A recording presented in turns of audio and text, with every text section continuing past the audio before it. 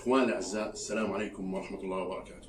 قال تعالى ولقد استهزئ برسل من قبلك فحاق بالذين سخروا منهم ما كانوا به يستهزئون. صدق الله العظيم. صارت جريمة قتل خلال الأيام السابقة في فرنسا. هاي الجريمة قام بها شاب شيشاني عمره 18 سنة قام بقتل معلم تاريخ يدعى صامويل باتي. هذا المعلم عرض لطلابه رسوم مسيئة للرسول صلى الله عليه وسلم. فرئيس الوزراء الفرنسي ماكرون وصف هذا هاي الجريمة وهذا الاعتداء بالهجوم الإرهابي الإسلامي. وإحنا الآن بنحكي لرئيس الوزراء الفرنسي. ماذا تسمي عمليات القتل اللي كانت تصير بالجزائر أيام الاستعمار الفرنسي اللي اسمها جمبري بيجاي؟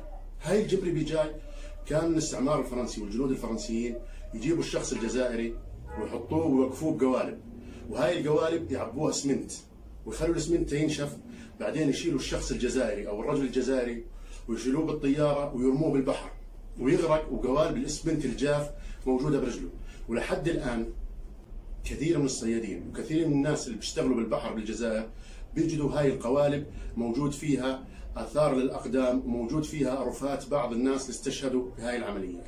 الناس اللي بالجزائر اللي ماتوا من هاي العمليات عددهم تقريبا 8000 شخص. إضافة إلى ذلك أثيرت قضية سنة 2011 هي قضية الجماجم أو جماجم المقاومين. هاي جماجم المقاومين في متحف هاي جماجم المقاومين في متحف بباريس اسمه متحف الإنسان.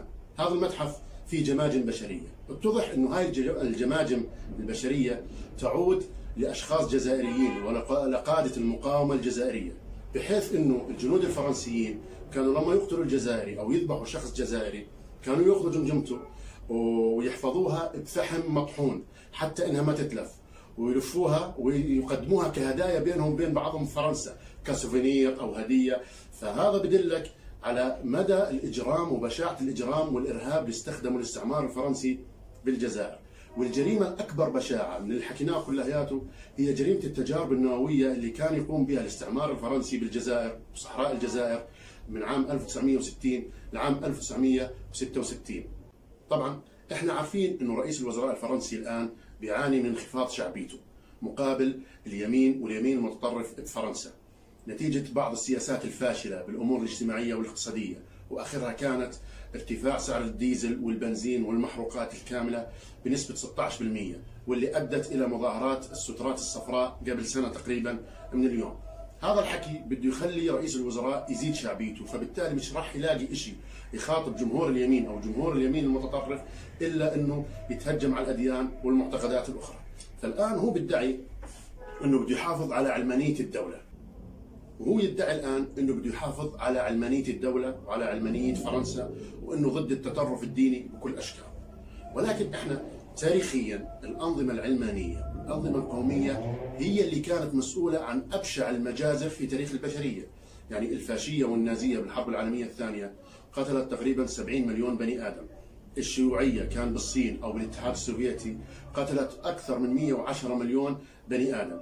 مش الأديان ولا الحروب الدينية، صح كان يصير بعض حروب دينية ولكن ما كانت تكون بالبشاعة وما كان يكون في مجازر بقدر ما كان يكون بالأنظمة العلمانية والأنظمة المبنية على القوم. وبالنسبه للإسلام عدد الأشخاص اللي قتلوا أثناء غزوات الرسول صلى الله عليه وسلم هم تقريبا ألف شخص فقط. ملاحظين إحنا قاعدين بنحكي عن ملايين الحركات الحركات القومية والعلمانية ذبحتها. في حين الرسول صلى الله عليه وسلم غزوات الرسول خلال 13 سنة من بعد هجرته إلى المدينة المنورة حتى وفاة الرسول صلى الله عليه وسلم عدد الناس اللي ماتوا ألف شخص فقط. والألف هذولا 600 منهم من يهود بني قريظة. هذولا قتلوا قضاء وليس قتالا.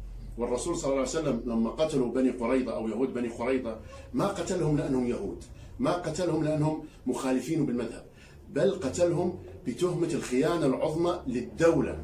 الرسول صلى الله عليه وسلم بعد ما هاجر على المدينة المنورة عملوا وثيقة اسمها وثيقة المدينة.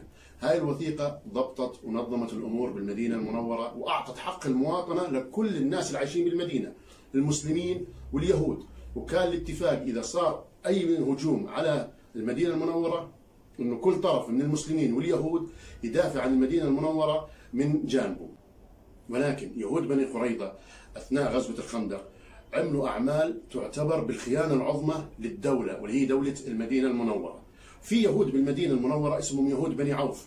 هذول اليهود ما تعرضوا لهم المسلمين ولا تعرضوا لهم النبي لأنهم حافظوا على العهود والمواثيق اللي اتفقوا فيها مع الرسول صلى الله عليه وسلم، أما في بعض اليهود مثل يهود بني قريظة ويهود بني النضير ويهود بني قينقاع هذول الناس خانوا مفهوم الدولة وخانوا مفهوم المواطنة وانقلبوا على مفهوم المواطنة والوثيقة اللي عقدها الرسول صلى الله عليه وسلم مع اليهود ومع جميع أهل ومع جميع الناس اللي ساكنين في المدينة المنورة.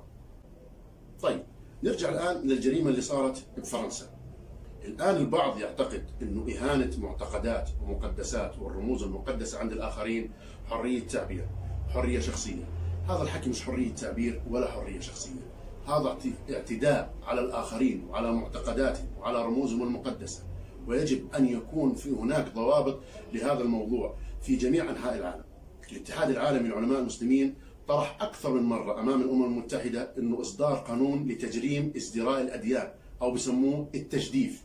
ولكن كانت بعض الدول في الأمم المتحدة توقف هذا القانون إنه ضد حرية التعبير وإنه يجب على كل شخص أو إنه كل شخص له حق إنه يعبر عن رأيه ولكن حرية التعبير لا تعني أنك الاعتداء على حرية الآخرين في الاعتقاد. فلا يجوز لأي شخص أنه يهين أي معتقد أو أي رمز مقدس عند أي شخص ثاني. وهذا الحكي لازم يتطبق عالميا ويتطبق إنسانيا. إحنا عندنا بالأردن وعندنا بالعالم الإسلامي ناس كثير زعلت على الإساءة اللي صارت للرسول صلى الله عليه وسلم. وهذا بيعبر على قيمة الرسول صلى الله عليه وسلم في قلوب الناس وبقلوب المسلمين وبقلوب جميع سكان هذه البلاد وهذه الأمم. وهذول الناس ناس منهم طالبوا مقاطعة المنتجات الفرنسية ناس منهم رفعوا شعارات على الفيسبوك أو غيروا صور ال profile. إحنا الناس هاي كلياتها بنشكرهم وبندعمهم وفزعتك لرسول الله صلى الله عليه وسلم تجدها عند رسول الله صلى الله عليه وسلم. والله إحنا الآن رسالتنا إلى المجتمع الدولي. ضرورة تجريم ازدراء الأديان. حتى الدول اللي الآن اللي فيها قوانين لتجريم الأديان يجب أن تحافظ على هذه القوانين. يجب أن نقاوم التجديف.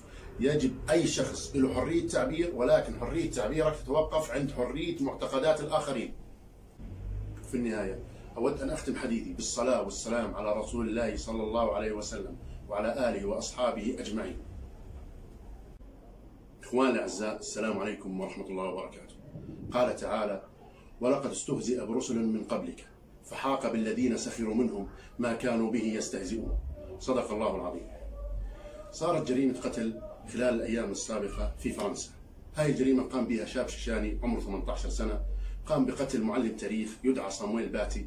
هذا المعلم عرض لطلابه رسوم مسيئة للرسول صلى الله عليه وسلم. فرئيس الوزراء الفرنسي ماكرون وصف هذا هاي الجريمة وهذا الاعتداء بالهجوم الإرهابي الإسلامي. وإحنا الآن بنحكي لرئيس الوزراء الفرنسي.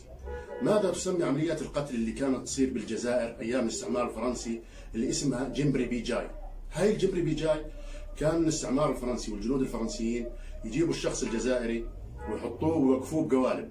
وهاي القوالب يعبوها اسمنت ويخلوا الاسمنت ينشف بعدين يشيلوا الشخص الجزائري أو الرجل الجزائري ويشيلوه بالطيارة ويرموه بالبحر. ويغرق وقوالب الإسمنت الجاف موجودة برجله. ولحد الآن